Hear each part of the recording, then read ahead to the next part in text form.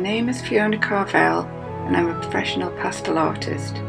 I paint a wide range of subject matters, landscapes and seascapes and still life and I'm very much ideas led. My personal work includes responses to environments, personal connections with the elements, movement and light.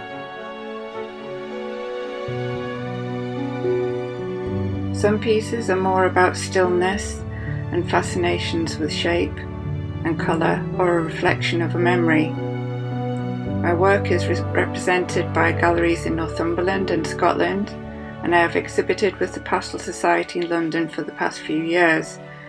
I was awarded the Royal Talens Rembrandt Award in 2020 for Fire of the Deep and was delighted to be included again in 2021. In 2017, I became a Unison Colour Associate Artist, which is something that I'm very proud of. I'm also a qualified and very experienced teacher. I've been running pastel workshops for several years now and have my own collection of online pastel demonstrations too. Uh, today I'm going to show you how to do some apples using pastel. So you can see over here I've got my pastels all set out and I've got my apples as well. And I've also got um, my outline drawing done on my easel here, drawn out in pastel pencil. So a very simple composition to begin with, but this is going to be a good exercise in showing you how pastel can be built up in layers and how to use blending. Now we're in a little bit closer here so you can see nice and close up um, what I'm going to be doing here. I've got um, a dark purple pastel to begin with that I'm going to start off with by going into the darker areas. Now I'm using um, UART paper which is a sanded paper and this is um, very good for layering colours because it sort of grips the pastel nicely and you'll be able to see um, the results of that as we build things up. You'll also be able to hear, if I just do that a bit, can you hear that? Very gritty, okay? So there are lots of different pastel surfaces and um, the ones with what's called a tooth tends to be kind of gritty, um, which means that you need to build up layers of pastel first before you do any blending, otherwise you'll get very sore fingers. and it also doesn't really go anywhere. If I just do that, it's just kind of moves a bit, gets a bit dirty, but that's about it. You need to have a lot more pastel on to be able to do much more. Now I'm just picking out um, very dark bits there where I want the darkest parts of the, the redder apple to be. So I'm going to gradually get lighter. It's one of the best tips to remember when working with pastel is always to work from dark to light. I know this is um, a very different way for if you're used to working with something like um, watercolour, for example, um, it'll be a very different process. Um, but you layer things up and that enables you to give a sense of depth to what you're doing. So I'm just going to, I'm looking at to see where I've got the shadow happening on the side of this apple here.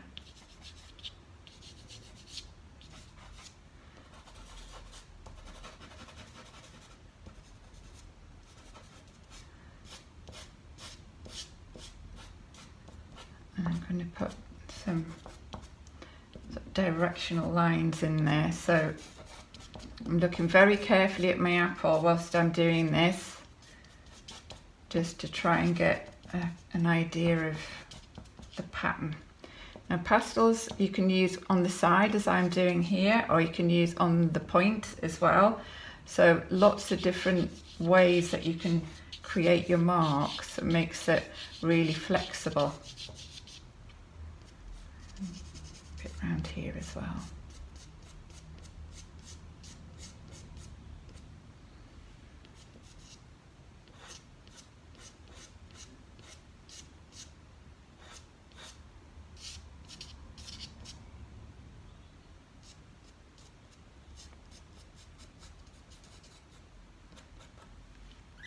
Okay. And I'm also going to um, put a little bit of, um, this is more of a bluey purple that I'm going to put on slight grey tint to it as well. Just on the darker areas, the side of this apple as well. Again, I'm looking for the darkest tones.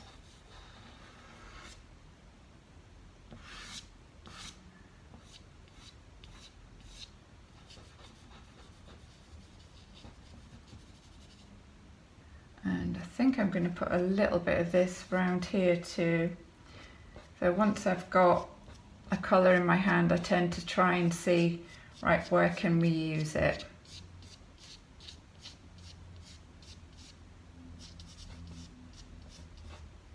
That's going to go out there.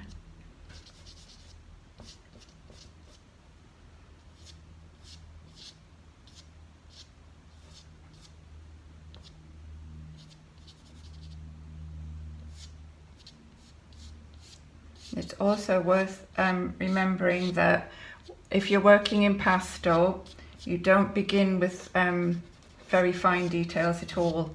They come much later on when you're doing the sort of the final stages. So that means that you need to be a little bit patient when you're um, building up your colour. So I'm just trying to block in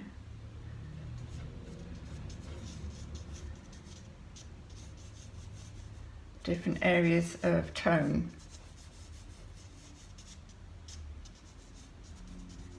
And that come, come over here like that. Thinking about the shape of the apple very much here.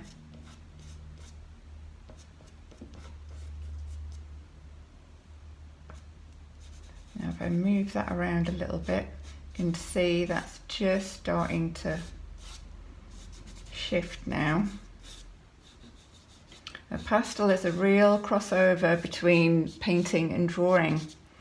So the drawing side is probably more obvious at this stage when you're putting things down um, because you're using strokes and lines and different marks.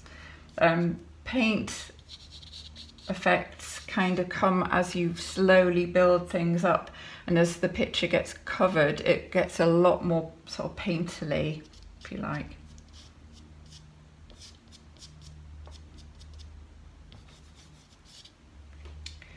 Right, so I've got now a lighter one again. This is more lilac. I'm going to put a little bit of that into here.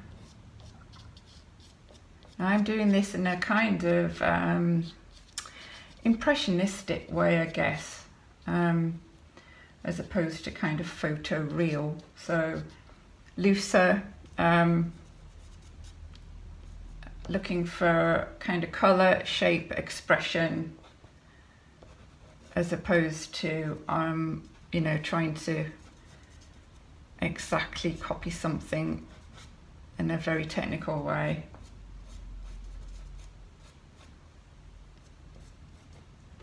that's to go into there.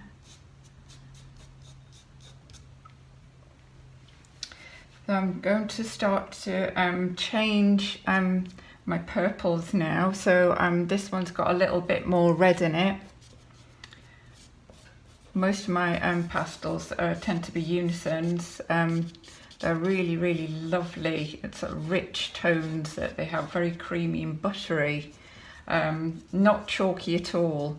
Um, think often people think that pastel is um, hard and chalky, um, but there's so many different kinds um, that actually a lot of them are really quite smooth and creamy.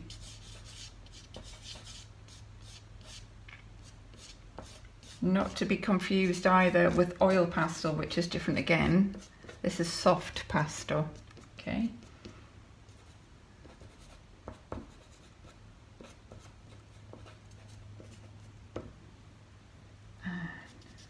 A little bit of that in here.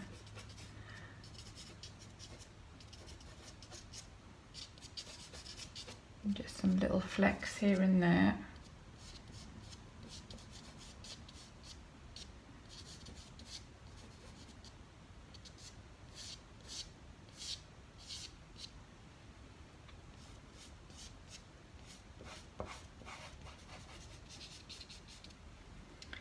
So now starting to get into more definite reds.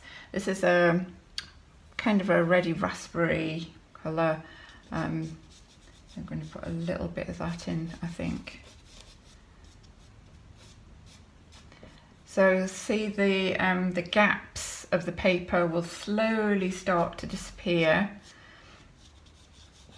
But I'm not just kind of filling in the gaps, I'm also layering on top of colours that have gone there already.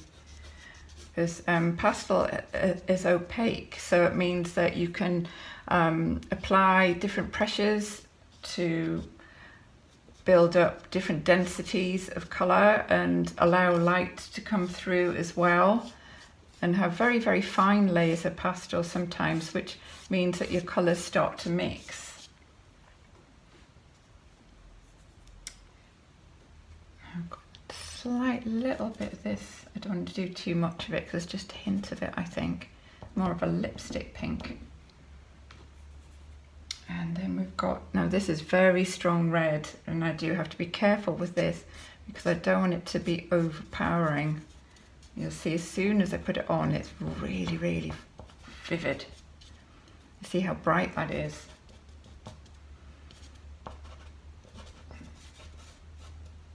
I'm going to blend it down. You see how it softens.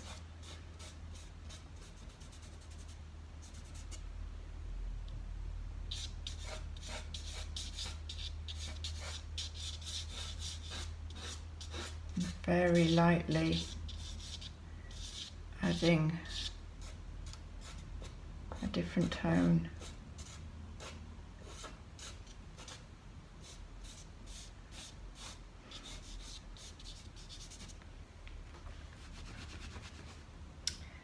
Uh, I've got, this is quite a, a gentle orange here,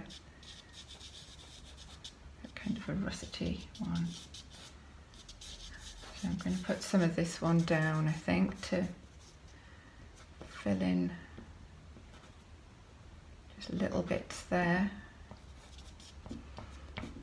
Apples make really lovely subjects because it's a lovely simple shape, um, but you can really go to town on exploring the different colours and tones without worrying too much about um, it being um, fiddly in terms of composition or form or anything.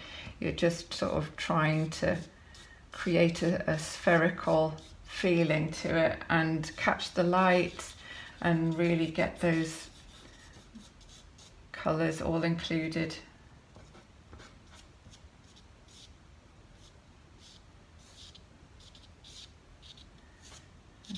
Going up again there very fine lines here and there and then blending in there.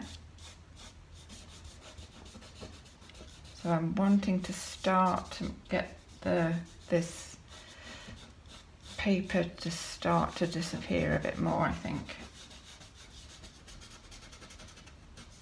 So it's got more of a, a base now. The other thing to remember to do is when you're working with pastel is um, to wipe your fingers because you look how mucky I'm getting here. So I tend to use biodegradable wipes um, to make sure that they are plastic free. um, you can get them now, um, but it is important that you stop and clean your fingers or go and wash your hands every now and again to stop um, dark colours being kind of dragged all over your picture. Try and work upward, upright on an easel and that's always going to be better to stop any bits of dust um, going anywhere because they just tend to drop. Um, the amount of dust that you get off pastels will vary according to the quality of them and you'll find that the better quality ones like Unison or Sennelier um, don't give so much dust. Okay so that's worth bearing in mind. Always um, make sure that you've got something to sort of wipe and dry hands with. So I'm going to block in more of this one as well now. So that's not finished at all, don't worry, not done yet. Um, I'm going to put in some of the darker areas here as well.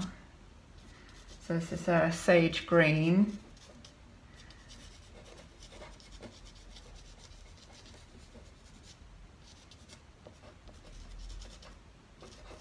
Just block that in there. It around the top. And I've got some of that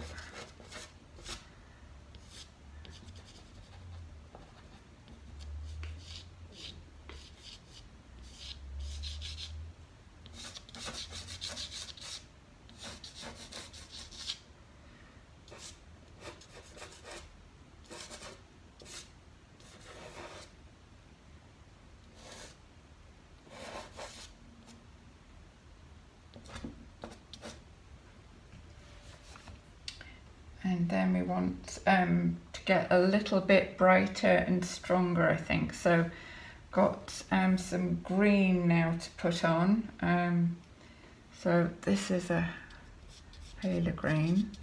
I'm going to just put this down. So I know a lot of this is going to kind of disappear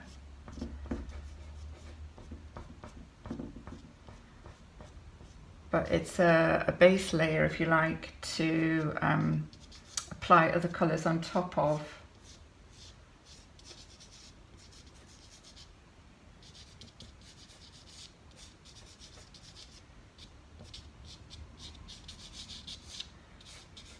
And that's going to drag down there.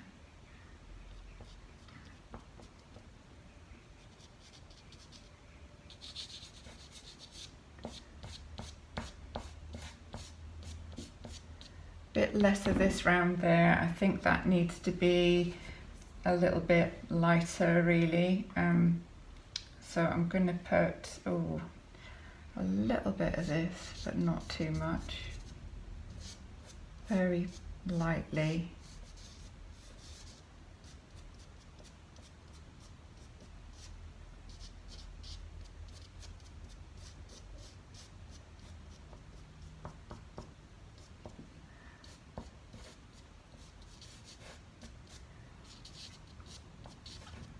Nice thing about pastel as well is that it's it can be so expressive and there's no absolute you know right and wrong in terms of um, you know style or anything like that at all. It's um, can be very personal, very individual, um, which is one of the great joys of it. It's very very flexible. A little bit of lighter colour so that's brighter orange now.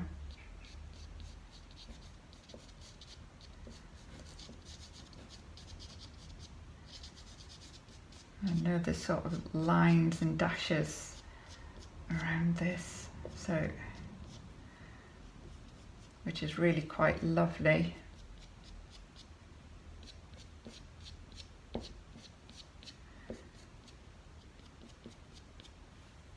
and none of this is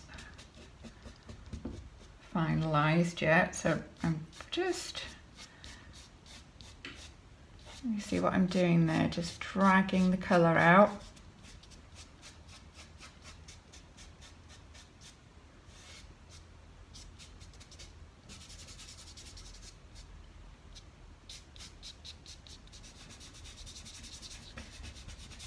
So right now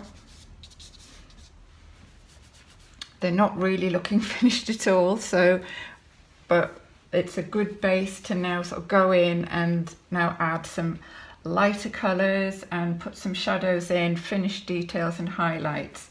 So remember when you're building a pastel picture it's all about stages and um, it happens gradually.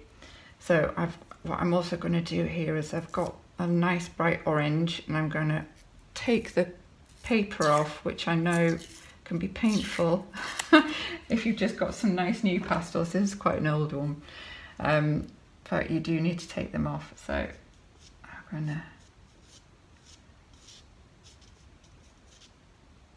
this probably looks a bit bright to begin with, but it's gonna tone down.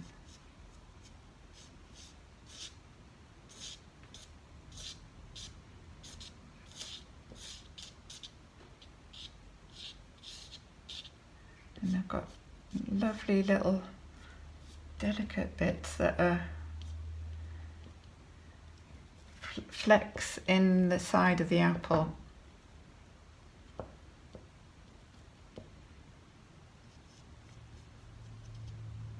Which I can continue with over here as well, just a little bit here and there.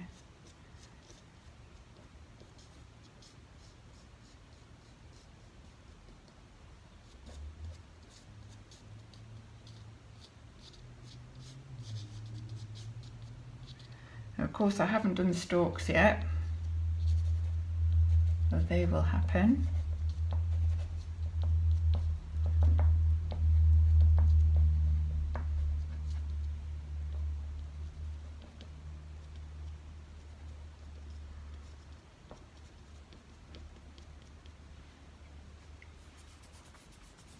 want a bit of yellow I think down here as well I've got a nice golden colour.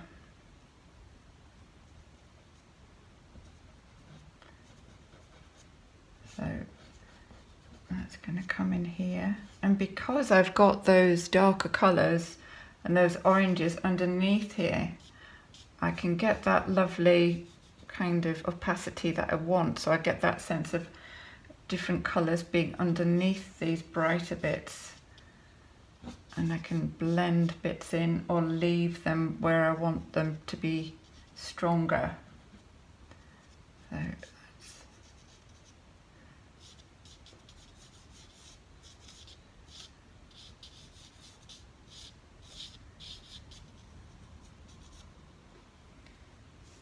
hmm, I need a little bit more orange, I think, here and there.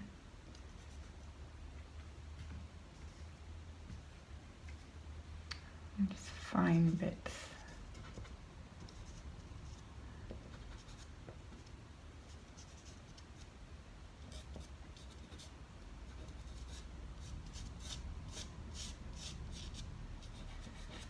So I'm pressing a little bit harder now. See this lovely red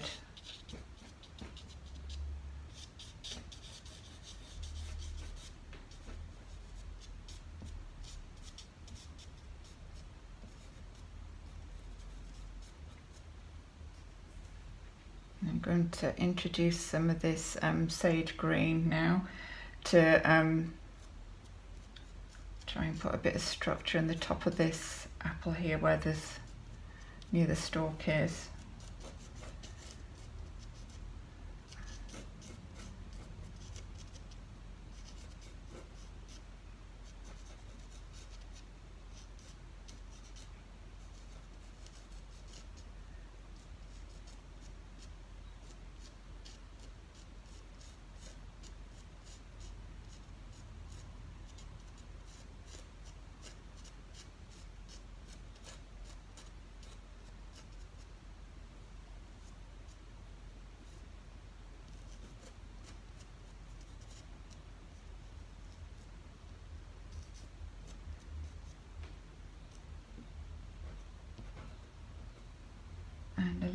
That as well, I think.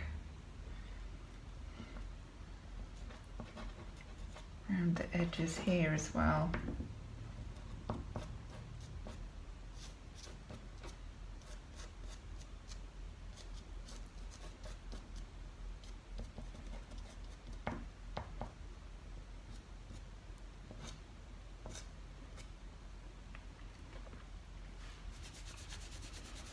So at this point it's good to try and get um, a little bit more definition in now before I kind of go into build up finer details. Um, so I'm going to use some pastel pencils. So I've got a dark blue one here. So I'm going to pop in a shadow here and redraw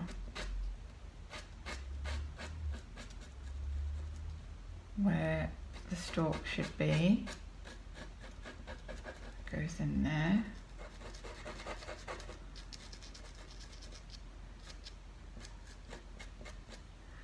And we're going to have some shadow coming out there as well.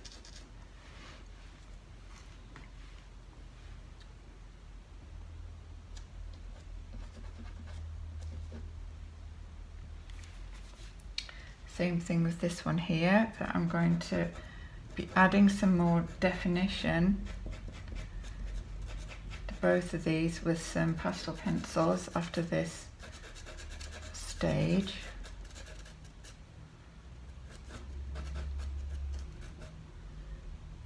So it's just to define where that's going to be. Um, and then I'm also going to add in a little bit of shadow,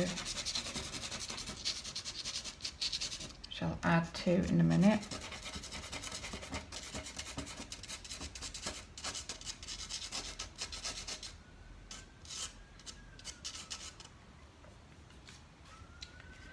I can see that that's going to be brighter here.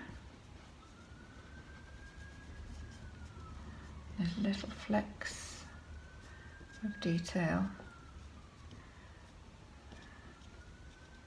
So trying to sort of know when to stop blending is quite critical really because you can just kind of carry on blending and blending and blending and then realize that you've kind of lost the detail that you wanted. So it is important to think right okay I think it's just about there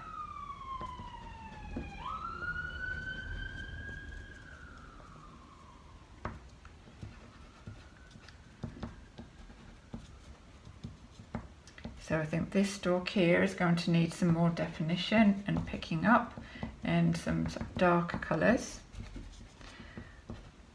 So I'm going to introduce some pastel pencil now to do some sort of finer detailing to build up on this base that I've got.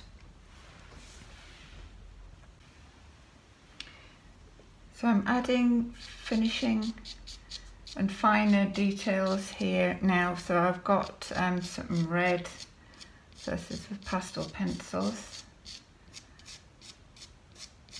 So I've got that base now that I've built up with the, the pastel sticks. So it's kind of up to you sort of how detailed you want your final picture to be. Um, so I'm just working on some of these brighter bits now to make it a little bit more defined.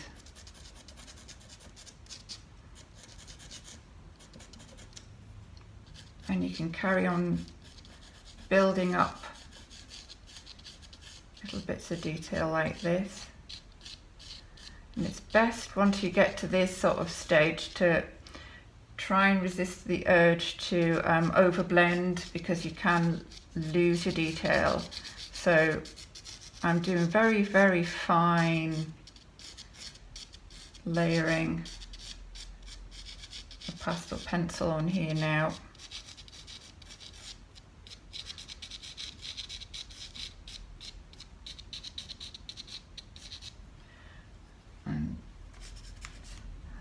little bit of this one over here as well.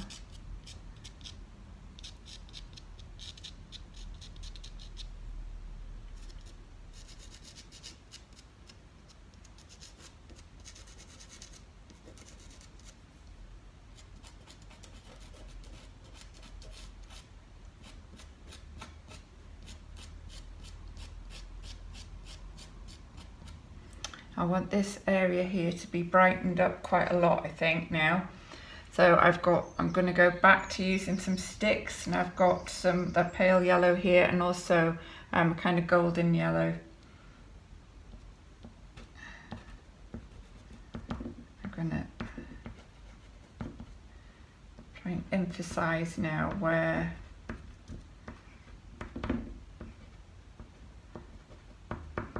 light's coming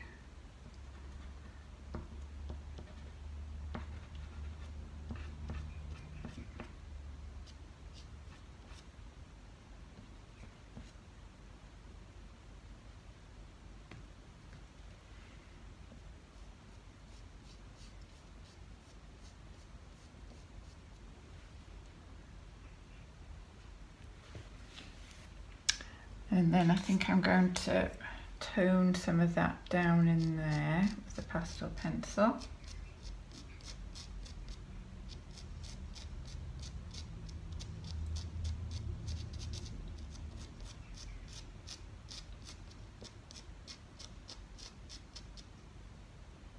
in here as well.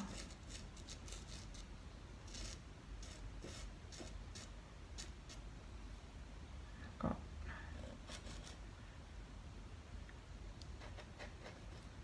that stalk in there. Then going to add some bright orange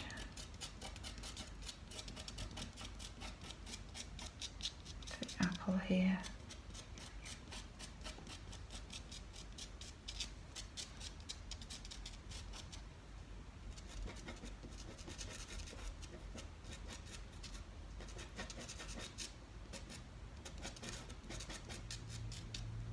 You can carry on with it with your picture in this way until you kind of get to the point where you think, right, I think I'm just about there.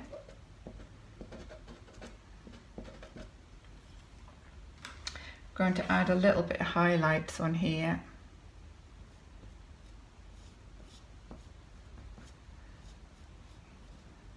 Got some there. And just a touch around here.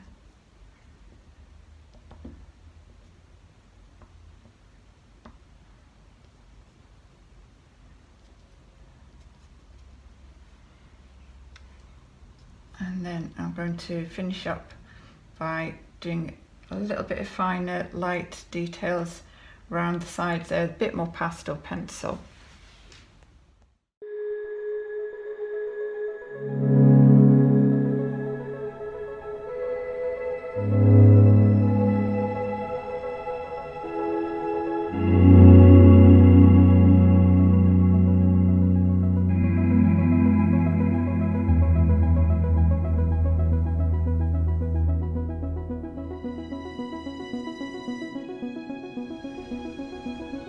So there we have it, a couple of very colourful apples. Um, I hope you've enjoyed watching the little demonstration and it's given you a few tips on how to approach using pastel. Thanks very much for watching.